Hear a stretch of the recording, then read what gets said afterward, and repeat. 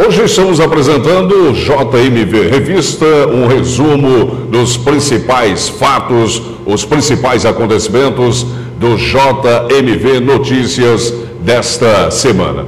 E agora vamos falar da edição de número 1243 do Jornal do Médio Vale, que já está nas bancas. Ao meu lado, o diretor do Jornal do Médio Vale e também da JMV eh, TV. Evandro Lois, boa tarde. Boa tarde, Salmos. Boa tarde, internautas da JMV TV.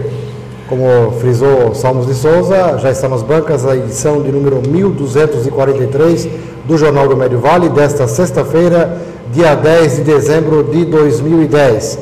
A manchete principal da edição: Ficha limpa é lei em rodeio. Câmara promulgou lei após derrubada de veto do prefeito. Comissionados não podem ter problemas judiciais. Segundo o vereador e presidente da Câmara lá de Rodeio, o Paulinho, esta medida não vai atingir nenhum membro da atual administração e também da Câmara de Vereadores.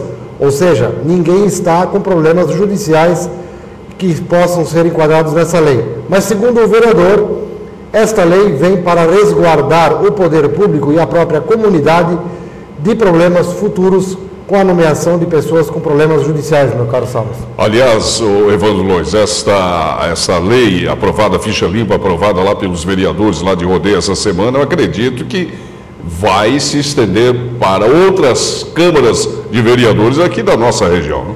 Exatamente. Inclusive o vereador Paulinho nos, como nos contava, de que, por exemplo, na cidade de Navegantes, aqui também no Vale do Itajaí, já foi adotada essa lei e também outros municípios do estado de Santa Catarina e outros também de outros estados da federação.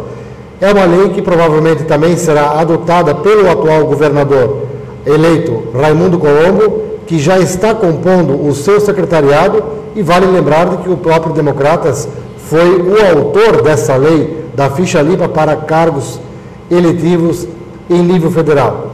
E essa lei com certeza deverá ser respeitada pelos governadores, são dois governadores do Democratas, porque eles devem seguir o exemplo dado pelo partido em nível federal.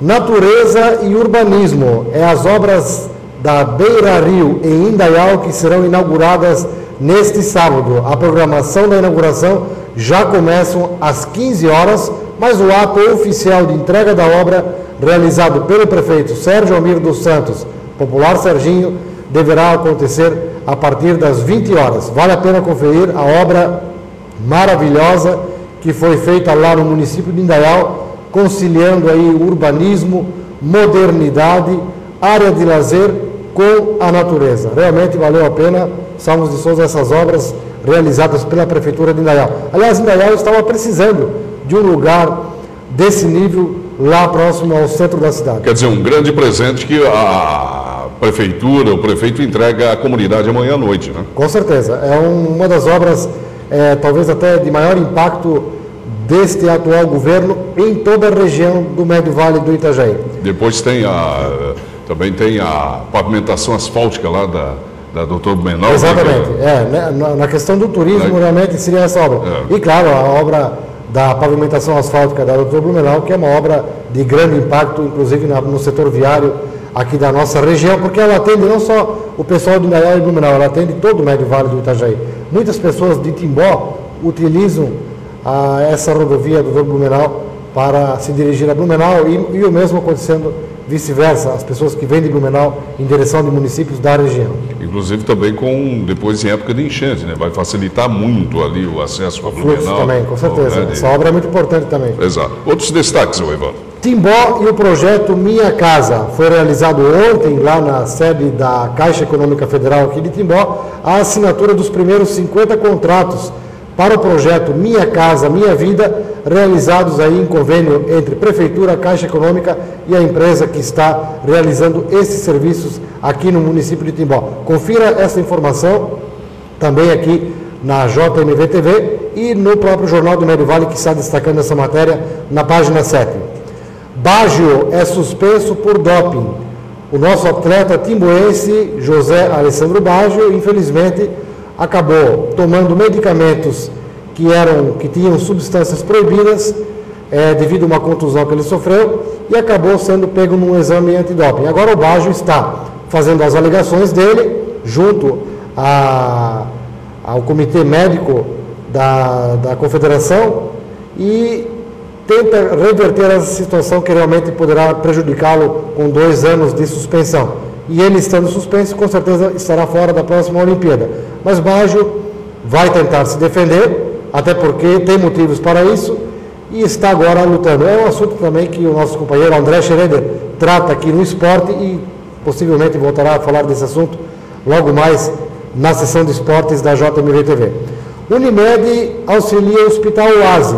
É um convênio realizado entre a Unimed e o Hospital Oase que visa o seguinte: as pessoas que aderirem a um plano de saúde da Unimed, é um novo serviço que a Unimed está implantando aqui na região, estarão indiretamente contribuindo para o Hospital Oase, porque a Unimed passará um percentual do valor das mensalidades para obras e para a manutenção do Hospital Oase. Hospital, inclusive, que precisa de ajuda, porque a gente sabe que a saúde, o dinheiro nunca é suficiente. Principalmente porque o SUS não repassa não paga valores adequados para suprir as despesas dos hospitais. Personalidade da semana: Klaus Brunner, empresário, proprietário da Todos Timbó Limitada, está contando um pouquinho da sua história e também falando de assuntos em geral da comunidade. É destaque aqui na edição do Jornal do Médio Vale. Temos também a coluna Bastidores, destacando nesta semana o editorial que fala a seguinte manchete: Ministério pífio para Ideli Salvati. Ideli Salvati, que foi professora por muitos anos, é educadora, foi líder do governo no Senado, foi líder do PT no Senado, foi uma grande batalhadora pelos interesses de Santa Catarina e pelo governo Lula, agora é contemplada com o Ministério Salmos de Souza que não é nada com a praia dela. Né? Aliás, é, falando sobre esse ministério. Isso é o mesmo do que a Dilma dizer para lá, Edeli, pega uma vara e vai pescar. É, o, exatamente. Esse, esse ministério, Ministério da Pesca, é, pegou muito petista de surpresa e ainda os petistas aqui de Santa Catarina estão descontentes. Achavam que a, a Ideli merecia um. Merecia, e com certeza, Salmos, não estamos fazendo demagogia e não é crítica em si ao governo, não é crítica barata. Edeli Salvati foi uma grande líder do governo no Senado e merecia uma diferença melhor. E uma das fundadoras do PT de Santa Catarina. É claro também. que o Ministério da Pesca, a pesca no Brasil, ela é importante, sem dúvida nenhuma. Mas acreditamos que esse não seria o ministério para a, a ministra agora, Edeli Salvati, porque ela, em primeiro lugar, não é desta área.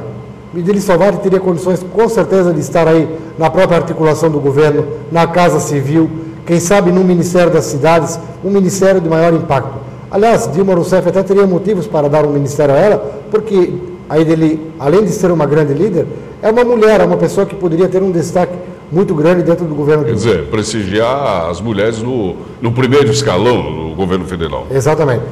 Olha, recebemos também uma correspondência esta semana da Sandra Schitze, ela que é a esposa do, do in memoriam Hércio Schitz, um grande amigo aqui do Jornal do Médio Vale, que faleceu há cinco anos exatamente, no dia de ontem, completou cinco anos, brutalmente assassinado dentro de sua própria residência. Ela está aqui fazendo um manifesto, um desabafo, falando ainda sobre a morte dele e do fato de que ela não se conforma com o esclarecimento, o encaminhamento que foi dado a essa questão. Também temos uma matéria sobre o Natal da família Paiana, que será realizado hoje aqui na cidade de Timbó.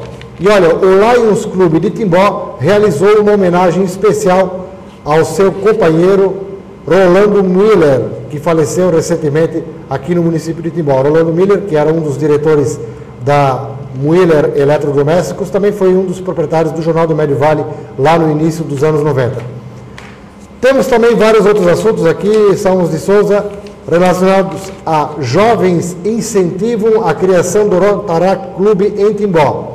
E olha, a Prefeitura de Timbó pagou o 13º salário adiantado para os servidores públicos e também as férias. A secretária Maria Angélica Fagiani fala sobre esse assunto aqui na JMV-TV e também no Jornal do Médio Vale.